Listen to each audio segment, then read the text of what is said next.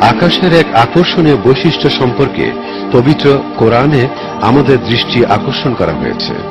বলা হয়েছে, আমি আকাশ সৃষ্টি করেছি, আমি আকাশ ও তার পথ সংরক্ষণ করেছি, তবু তা আমাদের দৃষ্টি থেকে এড়িয়ে যায়। বিশ্ব থেকে পরিচালিত বৈজ্ঞানিক গবেষণায় আকাশের এই আকর্ষণীয় বৈশিষ্ট্যের কথা প্রমাণিত হয়েছে। পৃথিবীর পারিপার্শ্বিক পরিবেশ জীবনের অব্যাহত অস্তিত্বের জন্য একটা গুরুত্বপূর্ণ ভূমিকা পালন করে।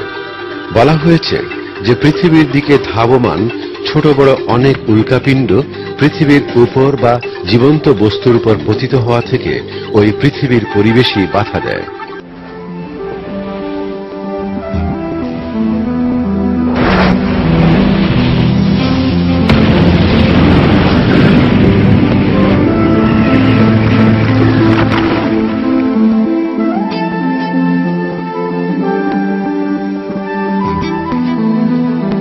শুধু তাই নয়, মহাশূন্য থেকে পৃথিবীর দিকে অনেক বস্তুর আগমনের সময় জীবন্ত সত্তার জন্য তার ক্ষতিকারক বস্তু পরিবেশ বিশোধিত করে দেয়।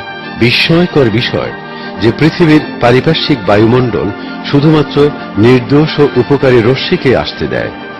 ওইসব বস্তুর সাথে আগত নিউ আলট্রাভায়োলেট আলো ও রেডিও ওয়েভকে বাধা দেয়। তাড়িত চুম্বক তরঙ্গ দ্বারা সঞ্চারিত শক্তি, অর্থাৎ বিচ্ছুরিত এসব বস্তু জীবন ধারণের জন্য খুবই প্রয়োজনীয়। পৃথিবীর পারিপার্শ্বিক বায়ুমণ্ডল যতটুকু নিউ আলট্রাভায়োলেট রশ্মি ছেড়ে দেয়, তা উদ্ভিদের আলোক সংশ্লেষণের জন্য এবং জীবন্ত সত্তার বেঁচে থাকার জন্য খুবই গুরুত্বপূর্ণ।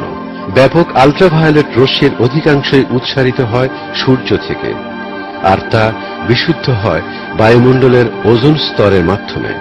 আলট্রাভায়োলেটের বর্ণচ্ছটা সীমিত, অথচ প্রয়োজনীয় ও গুরুত্বপূর্ণ অংশই কেবল পৃথিবীতে আসতে পারে।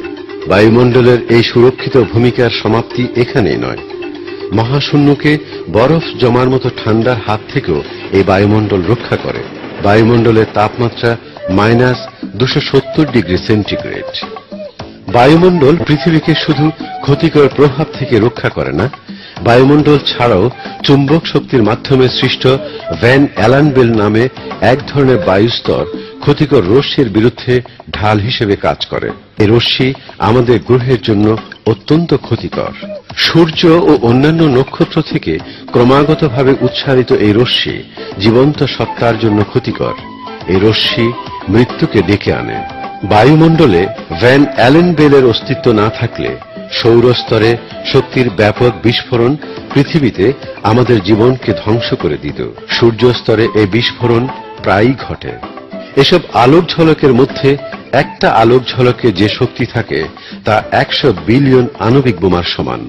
হিরোসীমায় যে বোমা ফেলা হয়, তা শুধু একটা বোমার সমান। হিসেব করে এই তথ্য পাওয়া গিয়েছে অতি সাম্প্রতিককালে একটা আলোক ঝলকের আটান্ন ঘণ্টা পর দেখা যায় যে কম্পাসের চুম্বক কাটা অস্বাভাবিকভাবে নড়াচড়া করছে, আর বিশ্বের দুশো কিলোমিটার উপরে বায়ুমণ্ডলের তাপমাত্রা হঠাৎ করে দু হাজার পাঁচশো ডিগ্রি সেলসিয়াস বেড়ে গিয়েছে।